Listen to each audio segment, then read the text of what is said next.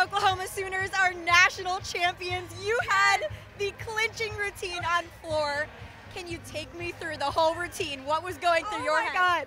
So I was basically like, you just gotta nail this. Like, the best routine I've ever done is that one right there. And I just knew I had to do it for my team.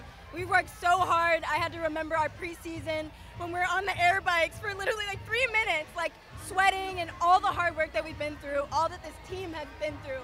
It just meant so much to me. Like, I can't even put into words how much that means to me. So awesome. At what moment did you know that you just won the national championship? when I landed that two and a half. I knew right then and there, I was like, that's a good score. That's it. Best moment of my life for sure. When you think back to the little girl going all those gymnastics practices, how proud would she be of you in this moment? She would pass out from excitement because we never would have thought this would have happened. I never thought I would end up with this school with these amazing girls. I never would have thought I would be here competing. I never would have thought I would still be doing gymnastics from injuries. So I can't, wow. That's all I gotta say, wow. Congratulations, very well Thank you deserved. So much, thank you.